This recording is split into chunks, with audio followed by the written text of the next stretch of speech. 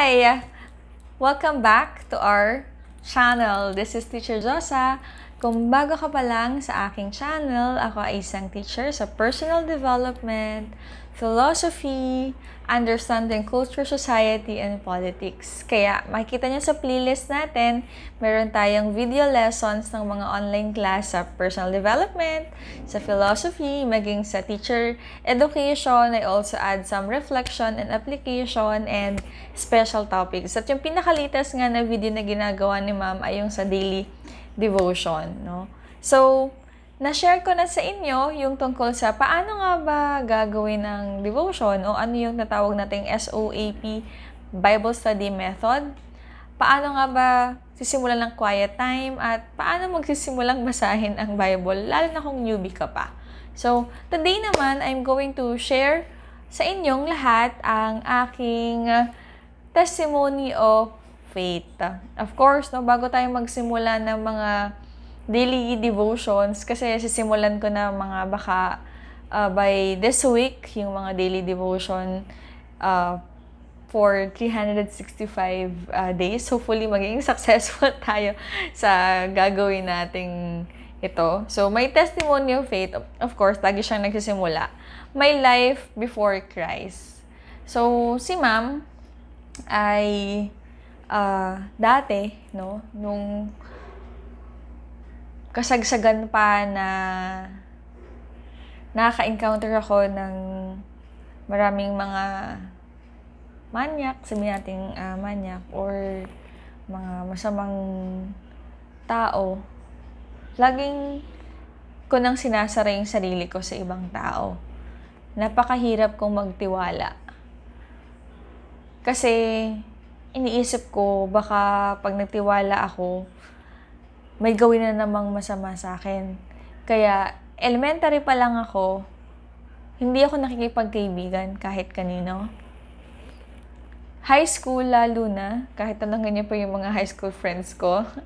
At hello sa mga high school friends ko at LM friends na nanonood. Alam niyo yan na, kumbaga medyo introvert ako before, na hindi mo makakausap, tapos, siga-siga maglakad. Lagi nilaloko na sakang, na uh, pangit maglakad. Ayun. At, I hate God. Sobrang galit ako. Sinisisi ko siya kung bakit sa akin nangyari yon At kung bakit may masamang nangyayari sa akin. And then, of course, dahil conservative yung family, nandun yung uh, sasama ka magsimba. Pero, nasa isip mo, as requirement lang yon kasi part ka, kasi ginagawa siya. Kasi sinilang ka na sa mundo na meron na yon given na yon Ayun, kaya nasanay ako na kapag makakagawa ko ng kasalanan, magdadasal lang ako ng three times ng Hail Mary or Our Father or any prayers or kakanta ako ng Latin o kaya naman, luluhod ako, iiyak ako, hingi ako ng sorry, tapos kinabukasan gagawin ko ulit kasi inisip ko na nakapag-sorry na ako. So, ganun lang, parang tinitignan ko ang Diyos as a requirement. At hindi talaga siya personal relationship. I don't even know the difference between spirituality and religiosity. Akala ko pareho lang yon Akala ko normal lang yon Parang makisabay ka lang sa sa Agos kasi yan na yung given. Never kong nag never ako nag-doubt kung totoo ba o hindi ba, kung ano bang gagawin ko at paano ako mag-grow, etc. Yun, that's my my life. So, ang Diyos ay ginawang genie na magre-request ka lang ng mga bagay na gusto mo, tapos pag hindi ka napagbigyan, magagalit ka. At kapag nakagawa ka ng masama, kahit na ikaw naman yung gumawa ng masama, sisisihin mo sa kanya yung resulta nung nangyari sa'yo. At may mga times pag hindi ko naiintindihan bakit niya ginawa yun, bakit niya plinano yun, or ba't nangyari sa akin yun, sisisihin pa rin. So, ganun yung pagtingin ko before sa Diyos. Ganun yung galit, ganun yung konsepto ng sana mamatay na lang ako. Kasi kung yung buhay na binigay niya, ikokontrolin din naman niya magsasuffer din naman pala ako. Ganon. Ganon yung buhay ko before. So, the turning point of my life when I met Christ, so naka- nakilala ko talaga si Lord through Campus Crusade Ministry kay Mami Erin at aking best friend si uh, Weng Bartolini. Hello! Hello, Beshi! I hope na aalala mo pa ako kahit na nasa Laguna ka at ako ay nandito sa Metro Manila. Ayun, uh, mayroon silang mga, may mga discussion kami. Tapos dati ang yabang ko pa kasi may question siya na, iniisip mo ba na makasalanan ka?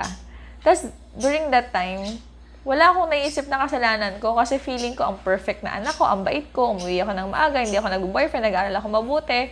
Ganun yung concept ko. Tapos sabi ko, wala, wala akong kasalanan, wala akong kasalanan. Malinis ako, perfect ako. Ganun yung uh, sinasabi ko, sinabi ko sa kanya. And then, ang galing, ang haba ng patience niya sa mga sagot ko, realizing ngayon, ngayong mga panahon na yun na, ngayon na, oh, wait lang, hindi ako perfect. Nagkakamali din ako. Sometimes, kine-curse ko yung ibang tao pag galit ako kasi immature pa ako dati. Tapos, may sama ako ng loob sa magulang ko, sa teacher ko, sa classmates ko. Galit ako lagi sa mundo, ganyan. Tapos, ayoko nang hinahawakan yung kamay ko, ayoko nang uh, mag-group study kasi yun nga, takot ako may gawing masama sa akin. Ayun. And then, nakilala ko si Lana Gatchalian. So, tinatawag niya akong Ate Cutie Dub. So, ako naman Sisi. Sisi as in sis, ganyan, no? Ayun, naalaman ko na born again Christian siya. Nakilala ko din yung boyfriend ko na asawa ko na ngayon na Christian.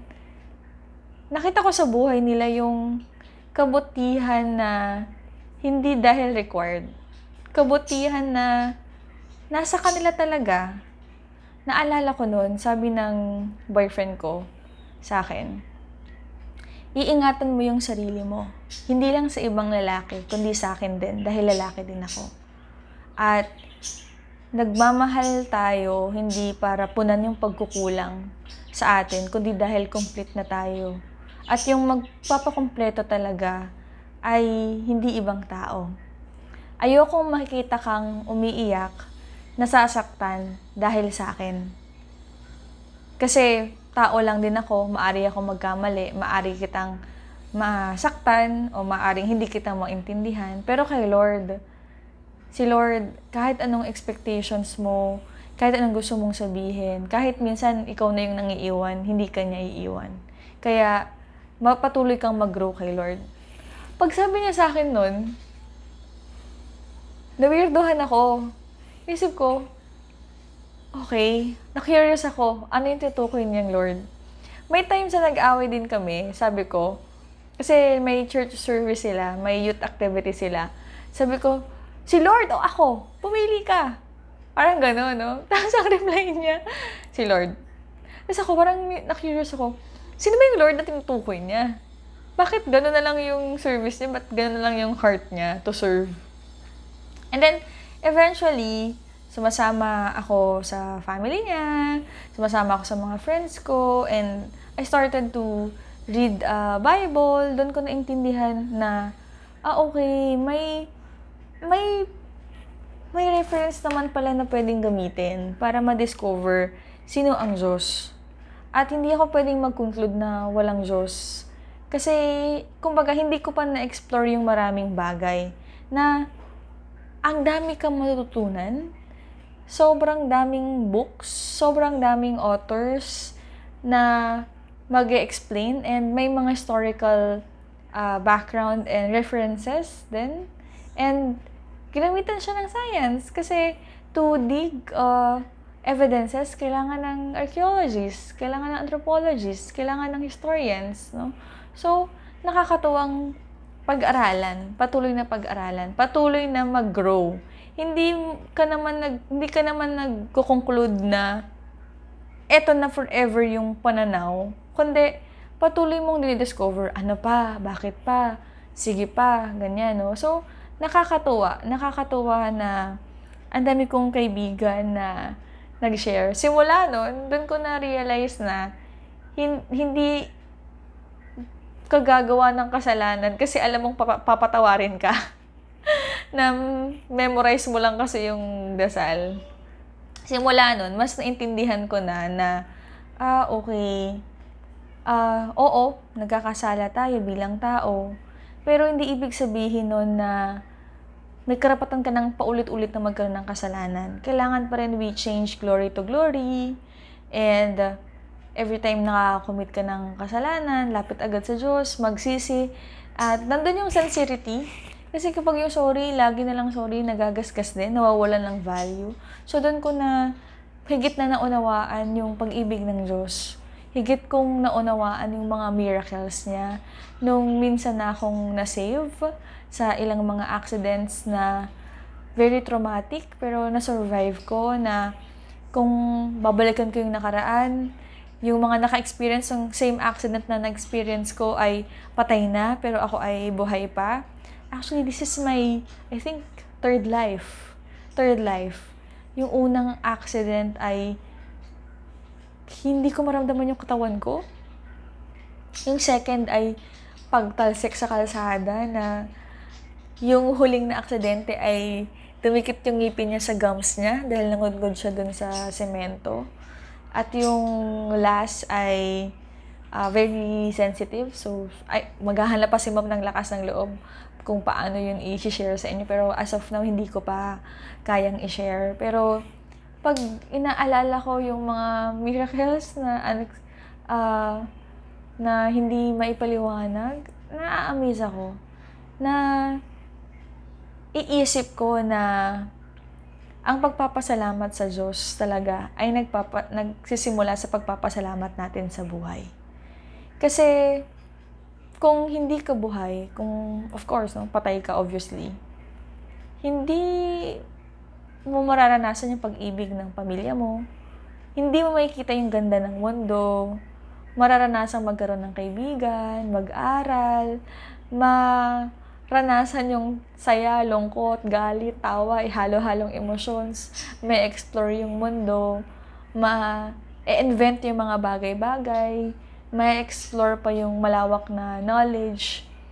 Ayun, sa buhay talaga nagsisimula eh. Kasi, again, kung wala yun, hindi natin mararanasan tong bagay na to. So, my life of faith in Jesus today, sabi ko dito, I won many battles in my life and I believe that I will continue to win all other battles because I have Christ in me.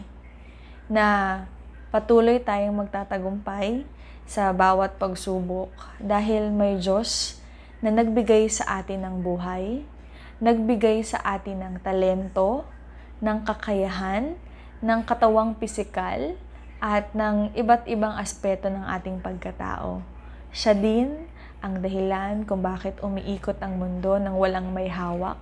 Hindi nilalaglag ang mga bituin kahit na nasa itaas sila. At kung paano tayo sabay-sabay na humihinga. At kung paano kahit tulog ka ay may bumubukad ka na bulaklak at patuloy na tumutubo ang mga halaman. At kung paanong patuloy na nag evolve ang marami pang species.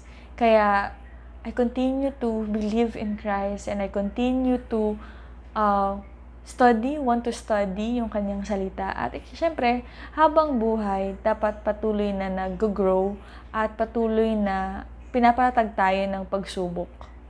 Kaya, I hope ngayong darating na Kapaskuhan, alam natin ang esensya bakit natin to kailangang i-celebrate. Dahil ito ay kapakana, kapa, uh, kapanangak, ala, nabulon!